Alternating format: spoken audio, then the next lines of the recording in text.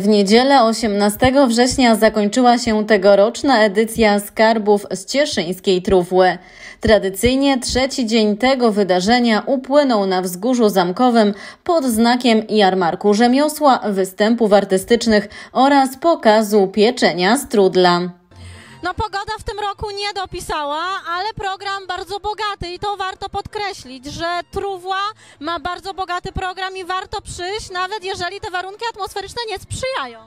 Tak, my bardzo e, serdecznie wszystkich zapraszamy. Zawsze możemy się cieplej ubrać i skorzystać z tej oferty, tym bardziej, że jesteśmy tu dla Państwa e, przez cały weekend.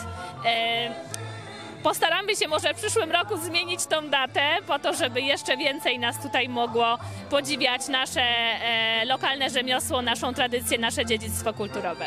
W tym roku coś z nowości, no winobranie, które do Was e, dołączyło jako taka impreza towarzysząca, ale jeszcze coś ciekawego? E, tak, w tym roku pierwszy raz e, częścią Truwły było pierwsze cieszyńskie winobranie.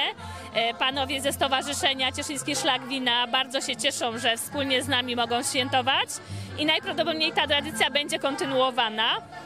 E, w tym roku e, mieliśmy, gościliśmy bardzo ciekawe zespoły.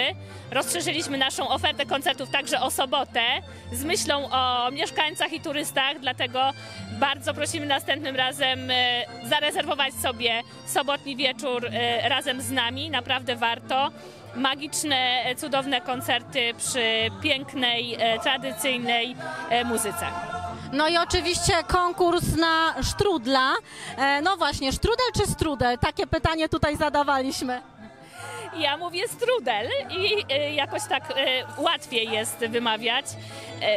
Konkurs też warto kontynuować, mimo że z tego, co ja sama osobiście nie próbowałam piec jeszcze strudla, bo wszyscy mówią, że jest to trudna sztuka, ale postaram się nadrobić to i spróbować, może akurat e, po tylu e, razach e, e, nauk tutaj na scenie będę w stanie też e, sama spróbować upiec takiego strudla.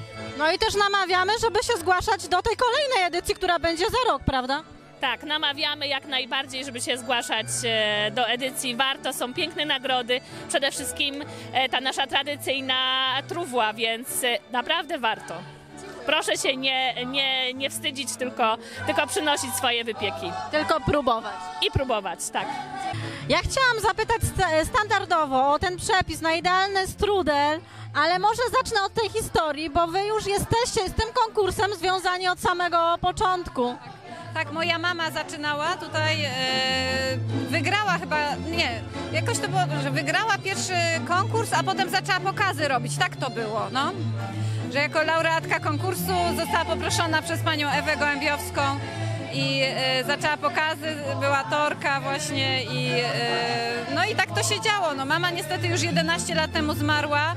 Ja zawsze towarzyszyłam, podpatrywałam i e, potem przejęłam tutaj prym i teraz ja jakby głównie pokazuję z całą naszą rodzinką, która się ro, rozrasta jak widać.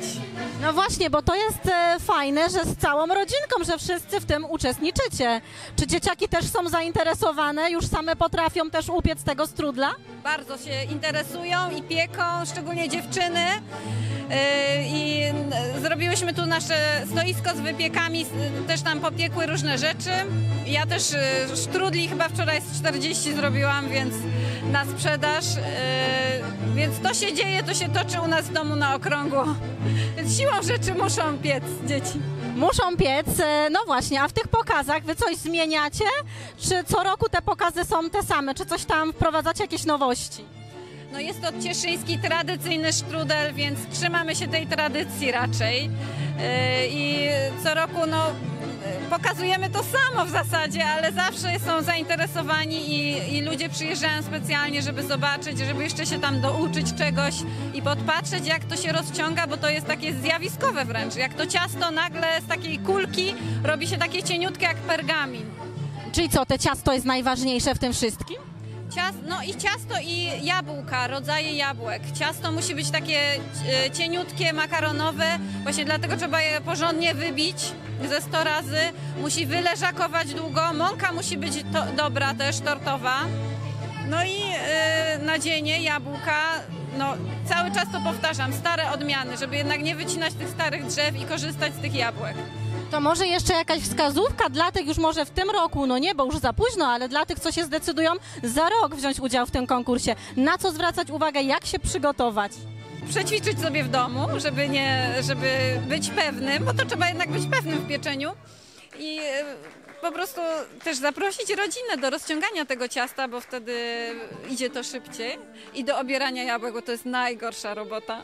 bo na taki sztrudel jeden e, musi być kilogram obranych już jabłek. No to jednak dosyć sporo jest tego obierania.